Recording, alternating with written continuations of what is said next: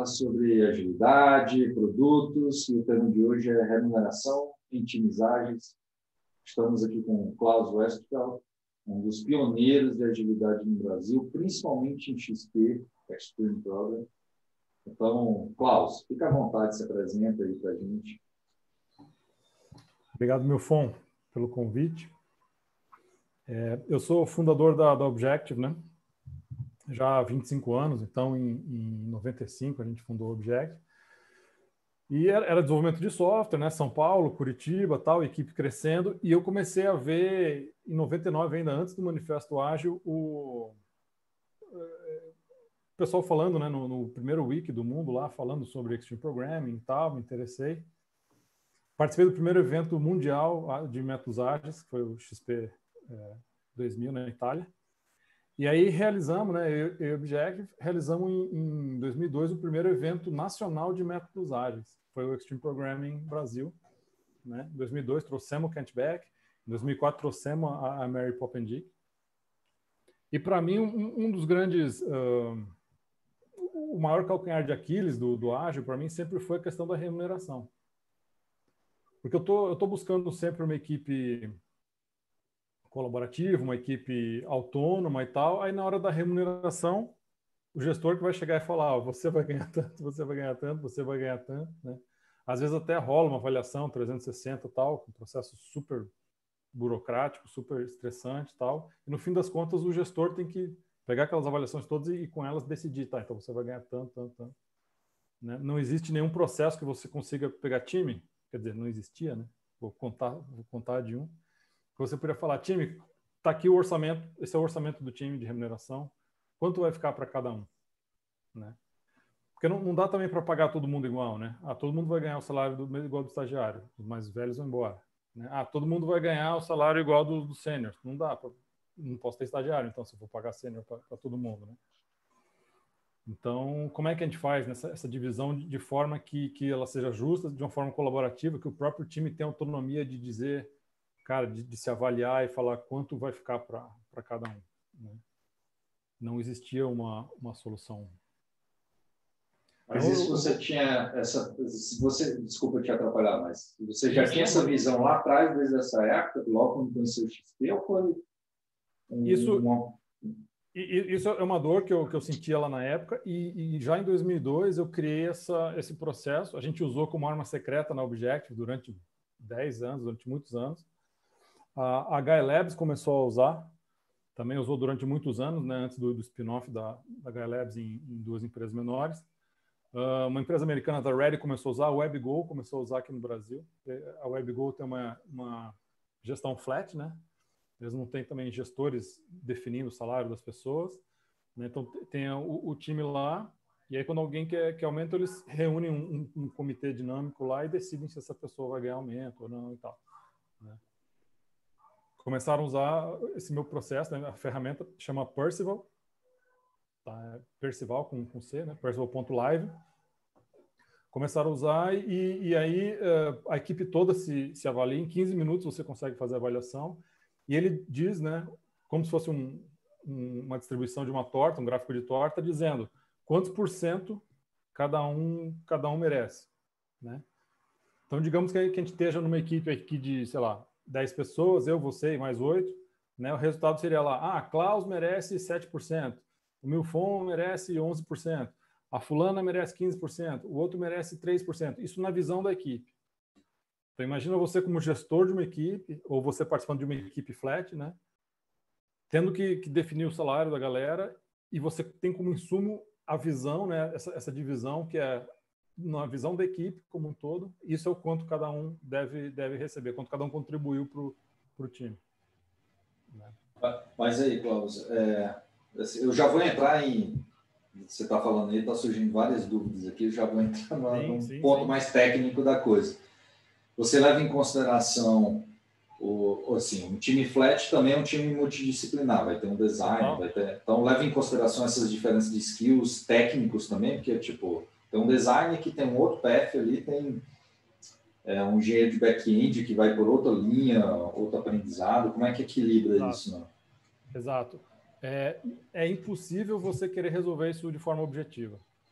É impossível você querer chegar numa fórmula, né, ou, ou tipo um, um boletim de escola onde você tem as diversas habilidades lá da pessoa, técnico e, e não sei o quê. Se você vai tentar fazer uma fórmula dessa, vai ser infinito. Sempre vai ter algum critério que você não previu, que a, pessoa vai bem nesse critério e outra, outra menos. Né? Além do, dos diferentes skills que você mencionou, tem quem lida melhor com o cliente, quem lida pior com o cliente, quem lida melhor com os, com os colegas, quem lida pior com os colegas, quem ensina mais os colegas, quem ajuda nas horas que precisa, cara, precisa varar a noite aqui para corrigir, não sei o quê, quem que, quem que fica, quem consegue ficar, quem que, quem que é aquela equipe, é aquela pessoa que, cara, na hora da reunião com a, com a gestão, com a empresa, com o cliente, fala a verdade que tem que ser falada ali, mesmo que seja difícil, né? Faz a setagem da expectativa. Então, tem, tem um monte de, de, de skills que, que, assim, você não consegue compensar tudo. Então, a gente é, abraça o fato de que é subjetivo. Cara, eu tenho um cara que é um back-end animal, está aprendendo, ele é um front-end mais ou menos, está aprendendo, está evoluindo bem, só que ele fala mal com o cliente. Compara com outro cara que é designer, é, júnior, back-end forte e, e, fala bem com o cliente. Tipo, como é que você vai fazer essa, essa, essa comparação? Não tem jeito. Né? Até hoje, todos os processos dependem de algum gestor, né, ou comitê de gestores, para fechar essa questão subjetiva e tomar uma decisão, transformar essa subjetividade toda numa decisão de, de remuneração. Né? Então, o que, que a gente faz? A gente permite que a equipe resolva essa subjetividade. Vai ser uma questão subjetiva, a gente vai perguntar para cada um, a gente vai fazer uma única pergunta que é, cara, quanto cada um contribuiu no time, quanto cada um merece receber. Então a pessoa faz uma única avaliação, né, relativa, comparando as pessoas, dizendo, ah, eu acho que o, o Milfon, uh, o tamanho da, da, torta dele deve ser 20% mais do que a torta do Klaus, a do Klaus deve ser 50% menos do que a do fulano tal, e, e por aí vai. Então a gente permite ao time resolver a questão da, da subjetividade. Entendi. E aí tem um time, por exemplo. Em vez do gestor. Resolver. Tem um time de, de cinco, oito pessoas, como você falou, você faz um racional todos vão votar em quanto eu deveria ganhar, né? Os, se tem oito, sete vão dizer quanto eu deveria ganhar, é isso que eu estou entendendo. Exato. E aí faz um Exato. racional entre eles para chegar num, num indexador. Exatamente. Tá? Só que em vez de ser simplesmente uma, uma avaliação 360 é assim, é, por exemplo, o Milfon está ok dentro das expectativas, excedeu expectativas ou ficou abaixo? Né? fica um, fica um processo político, ninguém quer ser o chato que diz que as pessoas ficaram abaixo, né? Então todo mundo ou ficou na expectativa ou excedeu, né? Então, se você faz essa avaliação na equipe, lá, sete pessoas, o resultado vai ser que seis merecem aumento. Seis foram além da expectativa, seis merecem. A equipe, cara, é uma equipe inteligente, está se ajudando ali, é uma equipe ambiciosa, né? Sim. Otimista, e vai se ajudar. E ninguém quer ser o chato que vai dar a nota ruim, né? com, com o Percival, o que, que você consegue fazer? Você, uh, a equipe vai dividir um bolo. Então, na hora que você faz as suas avaliações, se você disser, disser que alguém merece mais, automaticamente os outros merecem menos. Se você disser que alguém merece menos, automaticamente os outros merecem mais. Então, não, não existe você dizer que ah, não, todo mundo merece aumento. E não existia até então uma forma de, de você fazer uma avaliação dessa e você não consegue tirar uma média disso. Deixa eu compartilhar minha tela aqui e mostrar. Olha, fica à vontade. Não, entendi. Até porque faz sentido com a vida real, que você tem um budget da área, do time, exato, que exato. já está definido pela, uhum. pela direção da, da, empresa ou pela limitação da empresa. Né? Já tem um budget, então realmente é um bolo. Na vida real é um bolo de dinheiro que você tem que tem que, tem que dividir. Está conseguindo aí compartilhar? Você precisa uh, permitir aqui para. Ah, peraí. Apareceu aí? Deixa eu ver.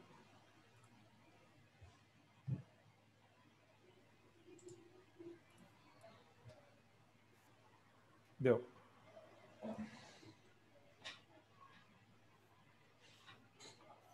Tá vendo aqui? É, é um doc? Tá parecendo um doc. Isso, isso aqui é um videozinho, né? Da, da ferramenta. Aqui nós estamos vendo é, quatro linhas, quatro níveis, né? Mas tem podem ser infinitos níveis, né? Para cima e para baixo. Então, o vídeo vai recomeçar aí, ó. Então, digamos, ah, eu acho que a Jamie mandou super bem, vou jogar ela lá para cima. Uh, em segundo, na minha opinião, ficou a Kelly. O Kem, eu acho que ficou empatado com a Kelly, e depois os outros dois, e o Alex ficou lá embaixo por último. Tá? Vai recomeçar o, o vídeo de novo. Então, é assim que a pessoa expressa a sua, a sua avaliação. Compara os colegas, tá?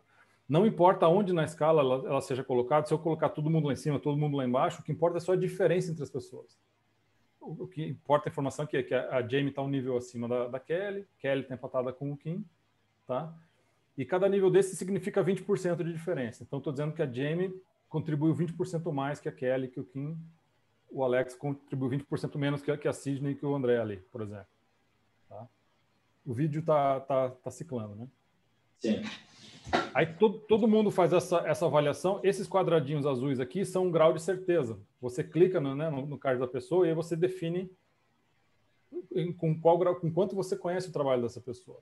É tipo um peso que você mesmo se dá na, na sua avaliação, né? Então, é, um grau muito baixo, baixo, é, alto, muito alto. Né? 0.1, 0.3, 0.6 e 1.0.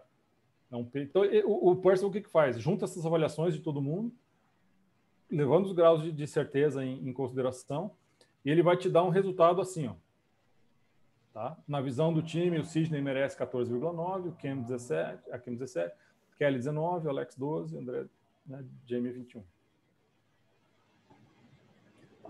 A gente e, tem um... e o peso já é equilibrado, né? Pelo grau. Já, então, já, é já recalcula tudo, entendi. Isso. Um exemplo de, um resultado publicado pela WebGo, tá? A WebGo fez o processo com 30 pessoas, né, eles, eles fazem anualmente, né, tipicamente processo com 30 pessoas, e, e aqui foi o resultado então que deu, né? É, o maior aqui está quase 5%, aí 4% segundo, 3,5%, pá, pá, pá, até uh, é, 2% aqui. Né? A, a, divisão de, de cada pessoa. Então, imagina você fazendo, você tendo que dar salário, cara, definir remuneração de, de 30 pessoas, 50, 100 pessoas. Foi, foi por isso que surgiu lá atrás na, Objective esse, esse processo. A gente deixar a própria equipe se, se avaliar e sai um resultado numérico já, né, quantitativo, justo, assim, na, na visão da, da equipe. Entendi. É, assim, sem querer entrar no roadmap da, do, do produto, etc., mas vocês uhum. Tem algum plano de cruzar isso ao invés de time ser por objetivo? Não, não só time, né, mas ser por objetivo também, até para se enquadrar. Sei lá, a empresa já adotou que OKR é, é a linha de medição de resultado. Uhum. E aí, equilibrar esse peso ao invés de entrega e de que as pessoas têm, que é, um, é, é subjetivo no fim das contas, então está na cabeça das pessoas mas ao invés de organizar por time, organizar por entrega. Tem alguma flexibilidade disso ou deixar para. Como assim, por entrega? Por exemplo, imagina uma, uma empresa mais tradicional que está uhum. tentando adotar uma metodologia, um modelo diferente, ela ainda tem aquele uh, um time de arquitetura, tem um time de ongoing, né, que cuida de produção, uhum. tem um time de comercial, e o pessoal quer começar a adotar um modelo diferente. Assim, uhum. eu, eu vi isso muito aqui no mercado de São Paulo, principalmente. Lá uhum. fora, eu acho que Estados Unidos, etc., já já está bem mais avançado. Mas em países mais emergentes, como o Brasil, ainda tem um cruzamento de cultura muito forte. Tem coisas que a gente via 20 anos atrás, 30 anos atrás, que ainda está presente, por incrível que pareça. Uhum. E assim, eu não sei se você já enfrentaram, já pega, utilizaram o texto em alguma situação como essa, mas existe muita situação de, nesse momento, eu sei de grandes grupos aqui que estão com aquela estrutura antiga, time de uhum. arquitetura, time de ongoing, etc., que não tem uma visão de time. Eu vi ali que pelo peso, né, que você conhece o trabalho da pessoa, dá para dá para organizar, mas tipo levar em consideração também um peso de próprio OKR, entendeu? Além de uhum. só o peso do que eu conheço, mas tipo, dar um exemplo prático, existe uma empresa de varejo aqui, uma empresa grande de varejo, o, o retira na loja é um produto. Só que não é um produto lá dentro da companhia, ela é só um conceito, é uma forma de, de venda. E numa empresa como essa, um time de arquitetura, ele não, ele é naquela fábula da galinha do porco, ele é uma galinha total. Ele não tem compromisso nenhum com o resultado. Estão com outros objetivos lá dentro. E muitas vezes eu vejo em, em processos de 360 que o pessoal tenta adotar em todo mundo que trabalhou no Retira, inclusive o time de arquitetura, por exemplo, estou um exemplo de coisas que eu já vi, que tem o mesmo peso. Só que, além de ter o peso do, do que você conhece do trabalho da pessoa, tem o peso também de atingimento de resultado, naquele lance da galinha e do, e do porco. Não sei se vocês levaram isso em consideração. Então, entendi. O, o que acontece é que você vai chegar, o, o Percival ele serve para chegar na remuneração individual mesmo. Né? OKR você vai usar tipicamente para o time. Né? Então, você vai chegar até um nível do time e falar, eh, galera, pelo atingimento de meta, alguma coisa, vamos remunerar o time como um todo, mas a gente quer que as pessoas ali dentro colaborem. Então, não se usa o OKR individual. Né? Você, você, chega no nível do time, o, o QR do time, e aí ele cara, como é que num time colaborativo, multidisciplinar, a gente sabe quanto, que, quanto cada um contribuiu? O time sabe. Então o Parcel resolve esse problema. Né? Você, você deixar as pessoas se avaliarem ali, ali dentro do time. Mas requer realmente que seja um time colaborativo. Requer que as pessoas trabalhem juntas, um mínimo assim, e se conheçam. Se você tem silos, empresa muito tra tradicional, onde você tem silos, ah, essa aqui é arquitetura, os caras trabalham não sei o quê, esse aqui, não, né, os desenvolvedores só recebem um, um requisito aqui, fábrica de software e tal. Aí tem os outros caras que o vendedor trabalha separado. Você não consegue um avaliar o outro, não, não tem jeito. Aí você tem que fazer a avaliação só dentro dos, dos timezinhos mesmo. Entendi, porque eu citei esse caso porque eu vejo muitas empresas tentando pegar um modelo de agilidade, fazer uhum. Spotify em cima de, um, de uma estrutura diferente, e estão tentando encontrar é, modelos de remuneração. É, assim, quando a, quando a, gente começou métodos ágeis lá atrás e veio o manifesto ágil, tinha aquela coisa de pessoas mais importantes, né? Tinha aquele pilar. Hum. Eu lembro de um manifesto do Kent Beck, 10 anos depois, acho que foi 2010 ou foi 2011, que ele fala, é, ao invés de pessoas, não que pessoas perderam a importância, é a mesma ideia, as coisas da, da, da direita continuam tendo valor, mas o da esquerda, team building, né, construção de times, tem mais peso do que os indivíduos. Que os uhum. indivíduos era o foco Sim. de 2001. Né? Sim. Então, aí... foi-se foi muito para esse lado do, do time, né?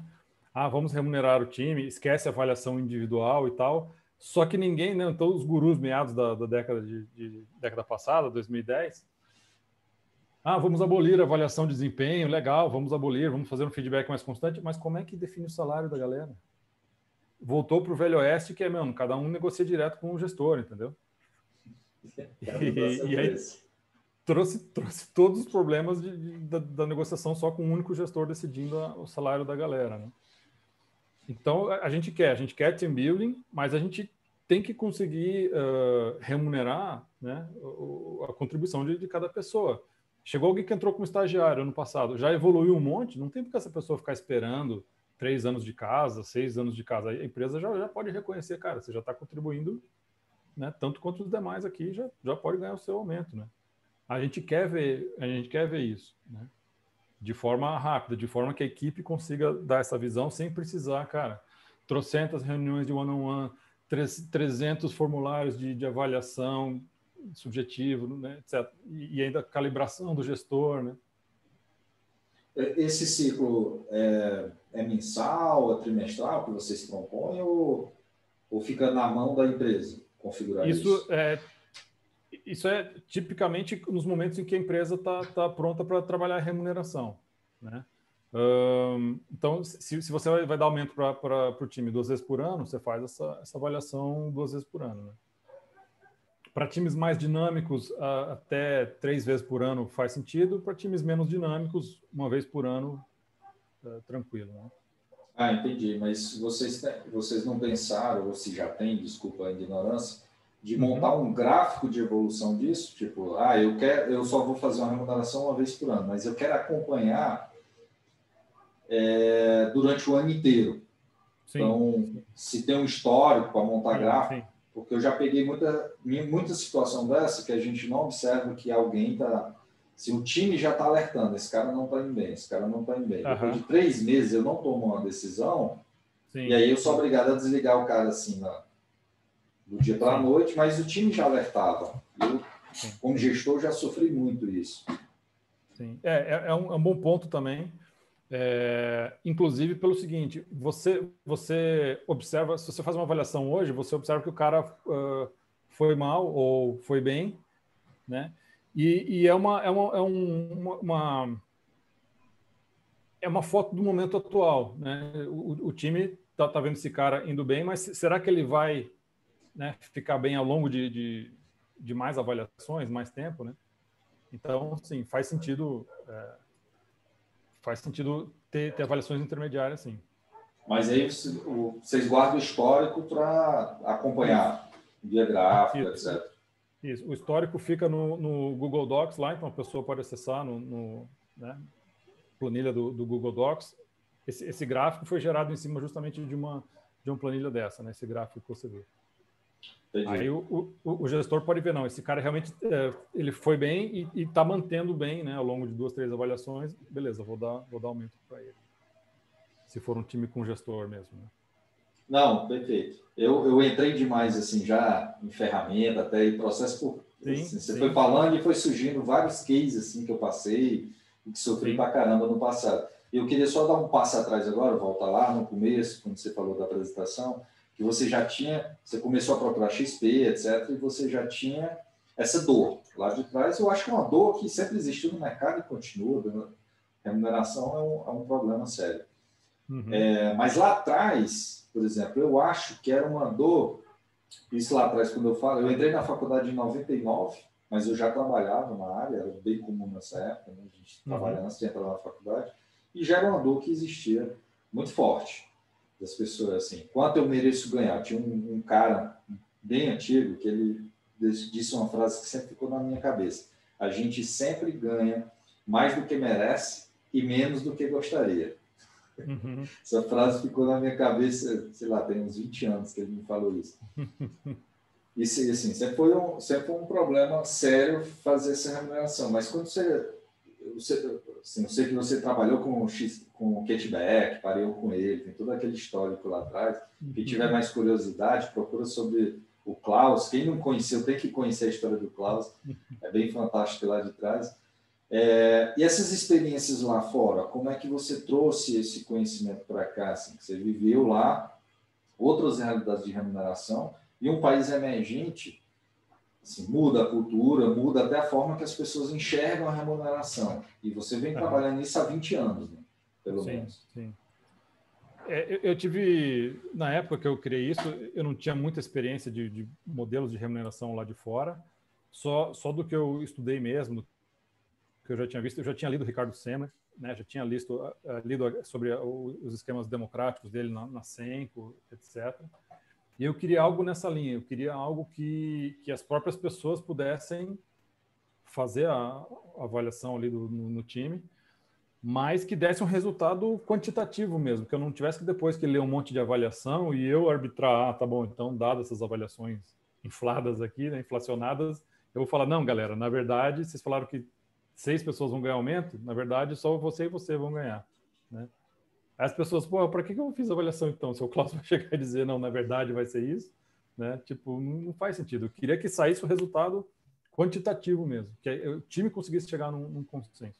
Né? E simplesmente não tinha, não tinha nada assim, até, até hoje, né? sem ser o, o Percival, não tem nenhuma solução que chegue num resultado quantitativo dado uma equipe. Né? Só que aqueles gurus lá do começo do ágil, ninguém estava trabalhando isso. Isso, não, não, não existe essa preocupação do, de, da, da, como é que resolve a remuneração. Né? Até o pessoal de gestão e, e de RH ágil não, não tem resposta para isso. A resposta é, cara, treina melhor o gestor, tá ligado?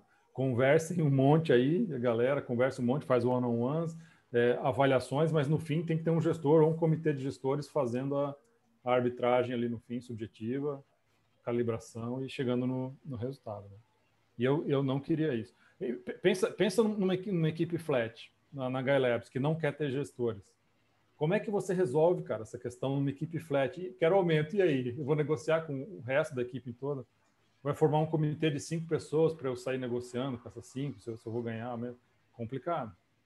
Então, eles, eles se baseando agora nesse resultado do, do, do Percival, bem mais tranquilo para eles né? definir. É, eu, eu, enxergo que mesmo com gestor também, porque assim, eu já passei Sim. por isso. Fica na minha mão de sentar com o RH e dizer Sim. Aquele, aquele velho trabalho com RH de, de definir a ficha da posição, né? quais são os skills uhum. e quanto vale aquele cargo.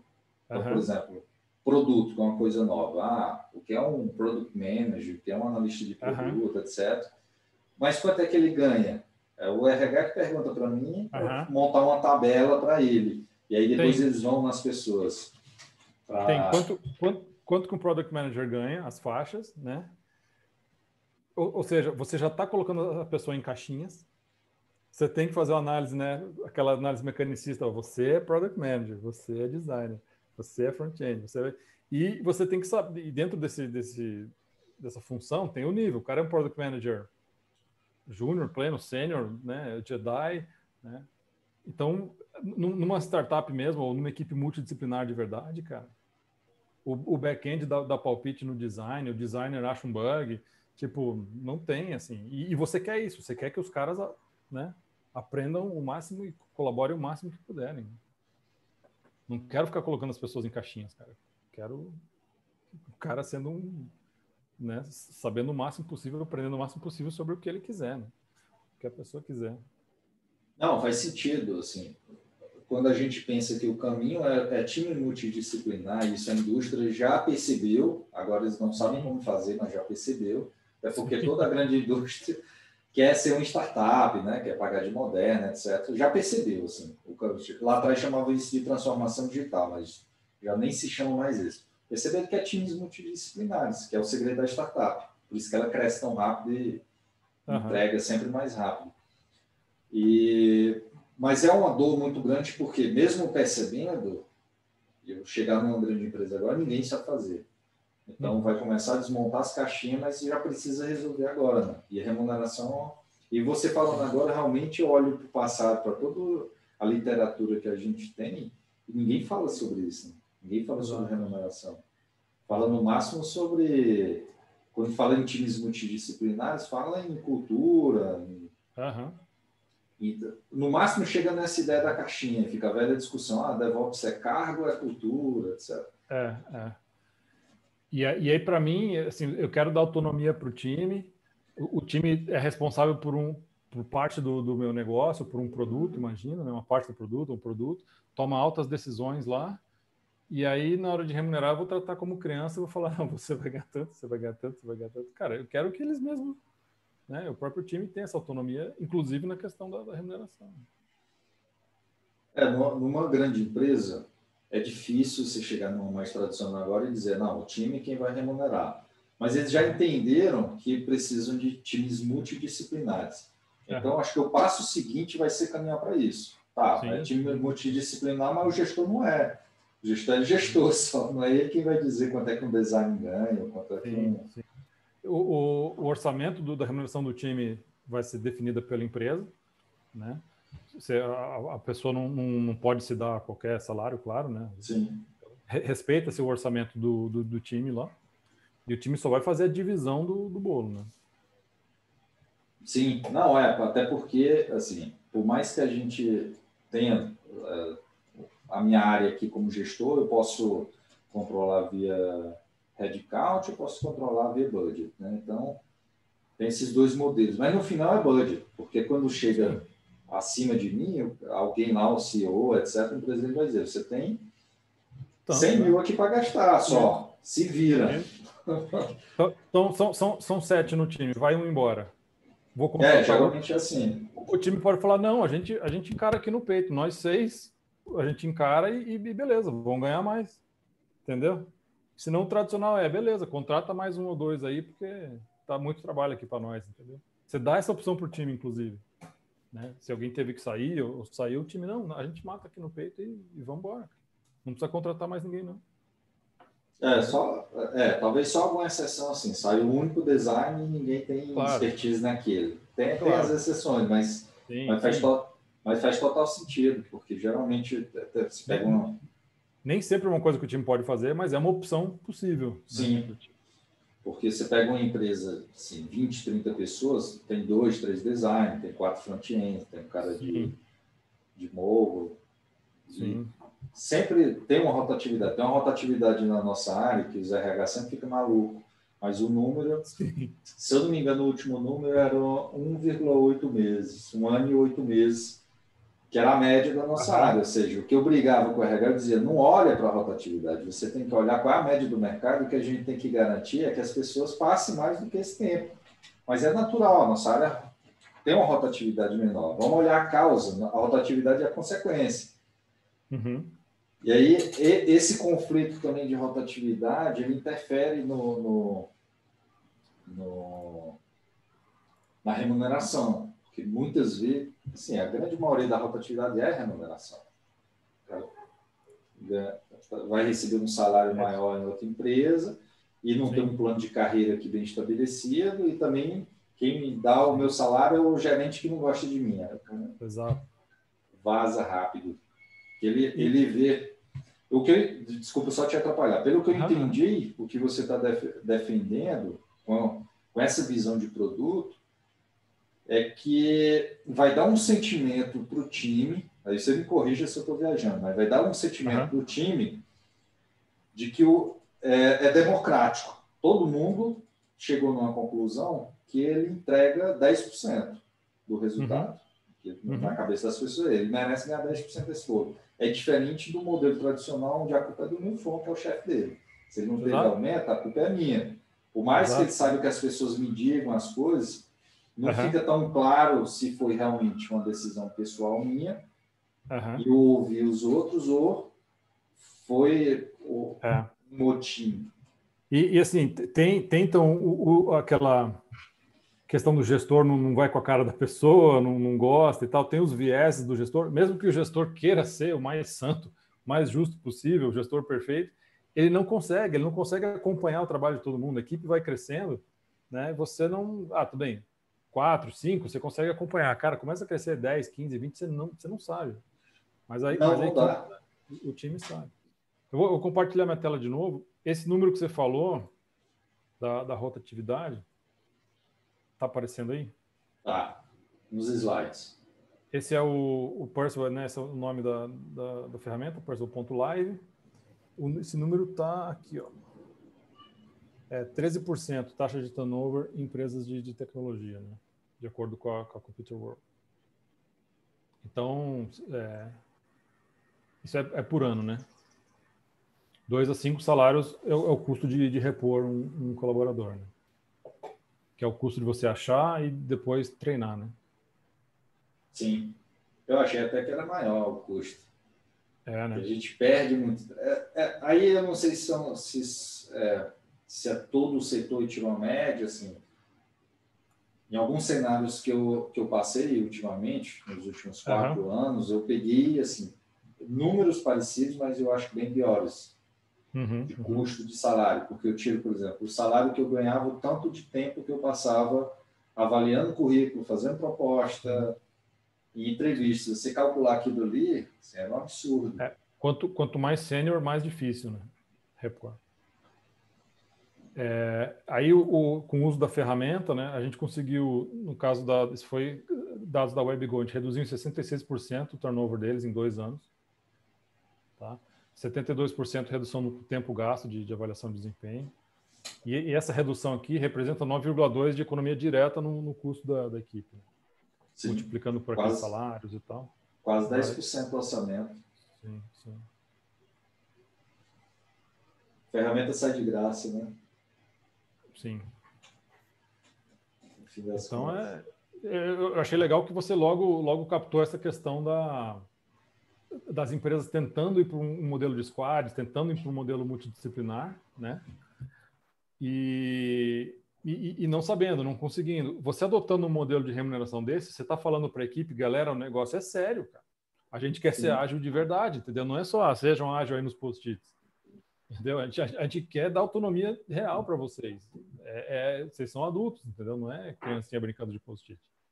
Não, perfeito. Eu acho que você definiu muito bem com essa frase agora. O que eu sinto que as pessoas sentem, se nas últimas experiências que eu passei, discutimos um ano com o RH sobre remuneração, sobre plano, cargos e salários, etc., é que as uhum. pessoas se, se sentem infantis fazendo uma coisa, como se estivesse simulando um, um ambiente, sendo que o que elas vão ser cobradas, o que elas vão ganhar, no fim das contas, segue um modelo mental feito lá atrás e, uhum. continua.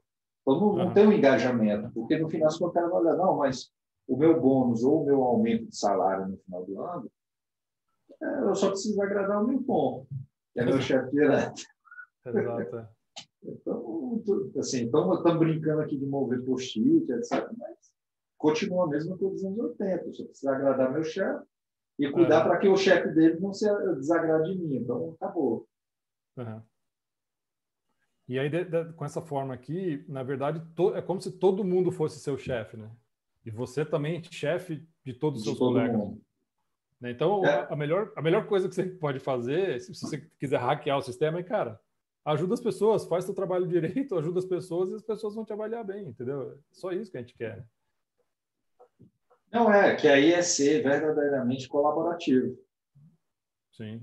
E não agradar o chefe. Você não colabora em nada em agradar o chefe. Você pode agradar de N formas, mas para agradar todo o time, realmente você precisa ser colaborativo. É, e, não, e, não, só isso, né? A pessoa que agrada o chefe ainda causa ressentimento no resto da equipe. Pô, tá é. lá aquele puxa-saco de novo. Puxa-saco.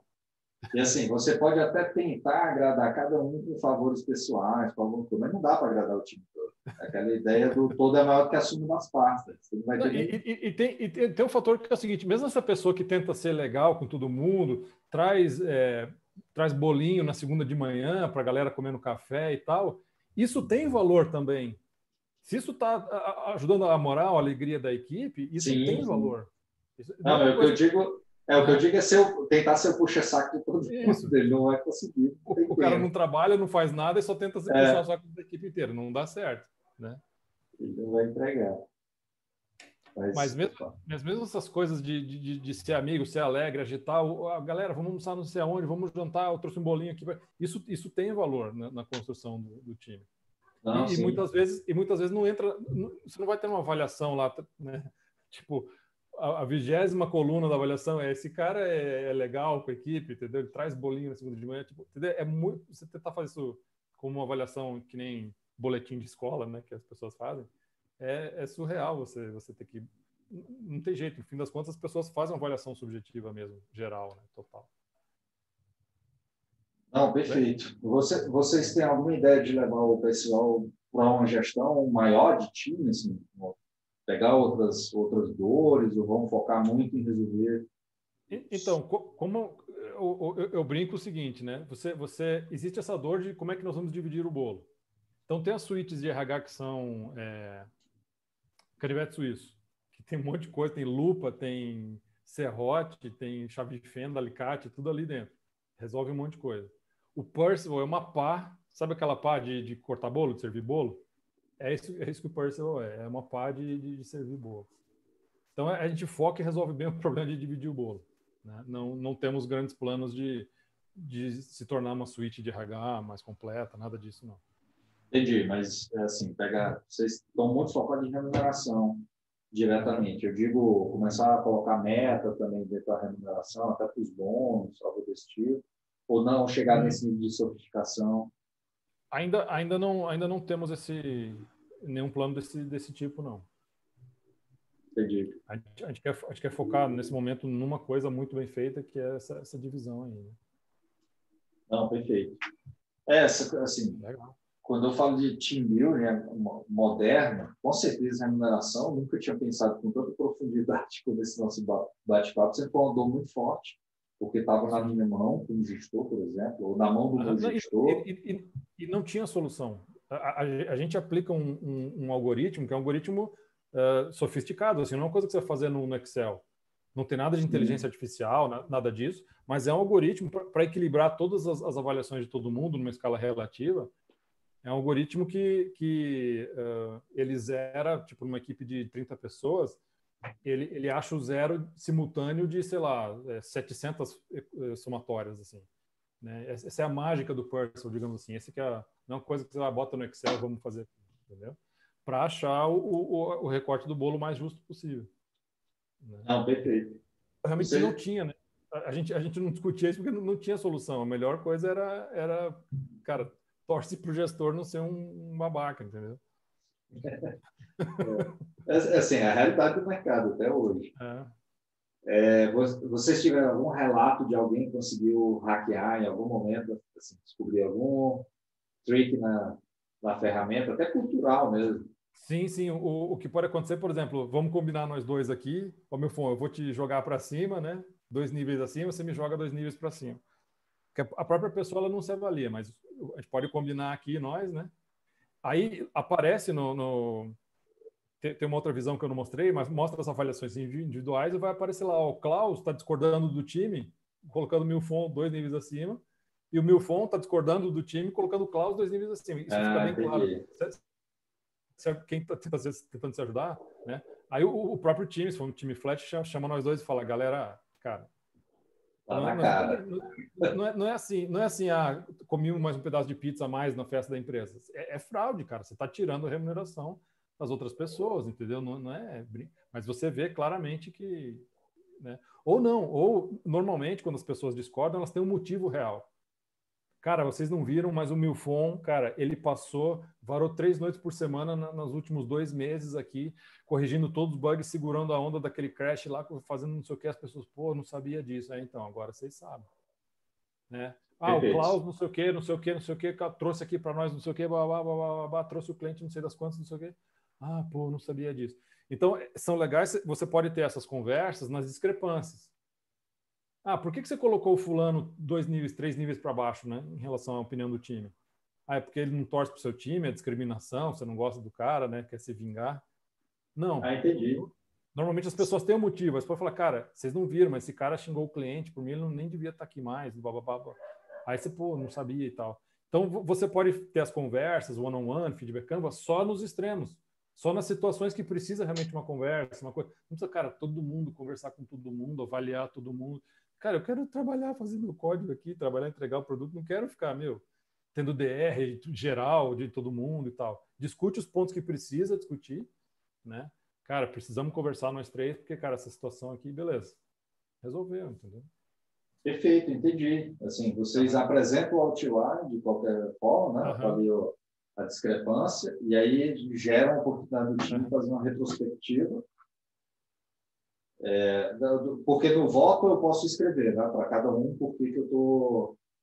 Uh, não, é, é só, não? é só. Não, é ah, só, só, na retrospectiva mesmo que as pessoas Só quantitativo, porque cada empresa tem o seu jeito de, de, feedback diferente. Tem gente que usa feedback canvas, tem gente que usa é, outras formas, né, one-on-one, -on -one, etc. Ou já tem uma ferramenta de RH que tem feedback. Então, para não causar confusão, a gente já teve isso na ferramenta, de você dizer o porquê, mas a gente tirou porque cada empresa já tem o seu feedback próprio, entendeu? Entendi. Para não, então, não. Vocês apresentam a discrepância e na retrospectiva que o time for fazer, se resolve isso. por lá. Isso, exato. Pode ser uma coisa, é, muitas vezes a empresa começa com resultado fechado só para o gestor. O gestor não conhece ainda muito o processo, quer ganhar segurança, faz a rodada, vê o resultado, ele pode embasar suas decisões com base nesse, nesse resultado. Na, na Objective, quando começou, era assim. A gente, né, a gestão olhava, te via e a gente embasava a nossa decisão. Eu nunca tive que dar uma mãozada, falar, não, na verdade, zoaram esse cara aqui, vou trocar, não. Sempre né, parecia razoável ali. E aí, com o passar do tempo, ganhou, ganhou confiança, aí você pode abrir para todos o resultado. Né? Não, entendi. Entendi. Faz muito sentido, porque assim, na, na média do grupo é aquela coisa, né? O grupo sabe mais do que, exato, exato. Do que o indivíduo. Então, tem um, tem, tem, um outro um resultado que é gerado aqui, deixa eu mostrar. Uh, que é isso daqui, ó. Também foi, foi gerado pela, pela WebGo esse, esse valor, deixa eu aumentar um pouco aqui. Aqui você tem o quê? Você tem em essas barrinhas verdes é o quanto cada um conhece do time. Lembra que tinha aquelas certezas lá, aquelas grau de certeza? Então aqui a soma né, esse, esse verdinho é a soma dos graus de certeza de todas as avaliações que a pessoa fez. Então, essa pessoa aqui, tá vendo? Tá lá no alto, né? É, é quem mais conhece o, o, time. E em marrom é, o, é, o, é, a soma das certezas que você recebeu. É o quanto o time conhece você. A, a sua notoriedade, digamos assim. Então, soma aqueles pedacinhos, 0.1, 0.3, 0.6, vai somando tudo. Em média, eles estão aqui em 15, 14, 15, é a média deles na WebGo. Ou seja, é como se num, num, processo de avaliação você, você tivesse 14 pessoas te avaliando com 100% de certeza. Soma os pedacinhos de todo mundo, dá 14 pessoas te avaliando. Cara. O, a confiabilidade que você tem desse resultado, como você falou, né, a visão do time, é surreal. Assim. O mínimo que eles tiveram é tipo 10, 10 pessoas né, avaliando cada um, com 100% de certeza, como se fosse. Né? Como, é, é, como é que as empresas estão Aí, aí é porque tá, tá com dublado ali, mas tem o nome das pessoas, né? Pelo que eu estou percebendo. Uhum. Cada, uhum. cada grupo ali é o nome das pessoas. Como é que eles estão apresentando? Eles mostram para as pessoas, ela enxerga aí onde está no gráfico, o time todo se equilibra. É, Como é que está a dinâmica disso? Varia, tem, tem empresas, no caso da WebGo é totalmente aberto, na, na Guy Labs, a gente é, fazia uma, uma quebra por níveis. Então, se a gente tinha, sei lá, é, sete níveis lá, a gente fazia um corte, a gestão né, fazia um corte, um nível aqui, outro aqui, outro aqui, né? A gente fazia, o, na verdade, o corte teria que ser no, no gráfico, opa, aquele gráfico azul, né? Nesse gráfico aqui, né? Fazia um corte, ó, nível 1, nível 2, nível 3, nível 4, nível 5 e nível 6, digamos, né? Aí a gente divulgava quem tava, quem, o resultado de, de quem estava em cada nível. Aí você não tem aquela comparação desnecessária de, ah, eu estou em último, eu estou em penúltimo, eu estou em primeiro, eu estou em segundo. Porque como a empresa vai pagar por nível mesmo, né? Pleno, sênior, nível 1, nível 2, nível 3, já divulga quem está nos níveis, não precisa dar uma comparação desnecessária, né? E agora, quem, quem é gestão flat, cara, é, é aberto, né? É 100% sim, aberto. Sim. É, eu já estou fazendo uns de par aqui na cabeça, tentando uhum. pensar em situações mais complexas, de, de times Sim. que estão querendo aprender como, como criar a, remuneração. A Copersucar, a Copersucar fez um, um hackathon de 50 pessoas da empresa inteira para fazer um projeto, uma solução para um cliente deles, específico. Cara, temos que resolver esse problema desse cliente. Juntaram 50 pessoas, multidisciplinar da empresa inteira, fizeram hackathon com vários times e tal. Aí eles quiseram fazer uma avaliação, remunerar, dar um prêmiozinho para os melhores. Fizeram Percival, usaram. Como é que você vai fazer uma avaliação de um troço desse, cara? Um hackathon de 50 Sim, pessoas. 50 pessoas. Rodaram, rodaram Percival e deram um prêmio para os 10 melhores. Foi a, foi a forma deles. Né? Ou seja, o, próprio time, né? Deu, bacana. Deu resultado. Bacana demais, porque assim, essa dor é, pô, é não só quem quer fazer agilidade, mas dor também na, na velha escola. Mesmo quando tinha silos e tudo, a remuneração é aquela coisa. É Sim. uma pessoa que decide, no máximo ela tem uma ajuda do RH, etc. Então, eu poderia dizer que não é uma coisa de agilidade só. Para a gente levar aí essas ideias, assim, você foi falando e ver um turbilhão de coisas que eu lembrei aqui, de situações que dava para se encaixar e resolver, como do, do hackathon lá. Sim. Que não era um time, mas foi montado um time para fazer aquilo. Essas 30 pessoas aqui da, da WebGo não são um time só de 30, são uh, seis times de cinco pessoas, né? Que, eh, que, que, conseguem se avaliar numa avaliação só porque eles, eles se conhecem, né? Teve gente que, designer que trabalha em mais um time, PM que trabalha em mais um time, é, desenvolvedor que já trabalhou no time já foi para o outro, né? Então eles conseguem aqui é um, um exemplo, né? Cada bolinha colorida dessa, né? Cada cor representa um time, então você vê que dentro do time as avaliações são super comuns, que você conhece mais, mas cada um conhece um pouco do trabalho de alguém de outro time. Quando você tem essa conexão suficiente, você consegue botar todo mundo na mesma, na mesma avaliação e ter um resultado para o time, para a empresa inteira, digamos, né? Para todo esse time se são silos completamente isolados ou muito pouco, né, muito pouca conexão, aí não dá. Você tem que fazer uma avaliação para cada time mesmo. Aí você tem o um resultado dentro do time, mas você não consegue comparar um resultado com o outro. Você está tá dividindo bolos diferentes, né? você não está dividindo o mesmo bolo. Entendi. Isso aí é o que eu estava pensando agora antes, que eu talvez não falei, não soube explicar bem. Assim. Por exemplo, um ano, durante um ano, eu trabalhei em três, quatro projetos dentro da mesma empresa. Então, eu devo ter circulado ali em três times diferentes. Exato. As pessoas conhecem o trabalho, mas conhecem o trabalho que eu fiz no primeiro semestre, outros conhecem o trabalho que eu fiz no segundo, são fotografias uhum. diferentes mesmo do... É. Até da vontade que eu estava trabalhando naquele, naquele, naquele projeto. semestre. Naquele... Uhum, sim. Não, perfeito. Bom, a gente já está aí quase uma hora, acho que já tem uma hora. Quer, quer puxar mais um assunto? Fica à vontade. É, não, é, é, isso aí. A gente usou durante muitos anos na, na própria Objective quase como uma, uma arma secreta aí. para nós, para nós, eh, para Objective, assim, é uma, era uma não questão.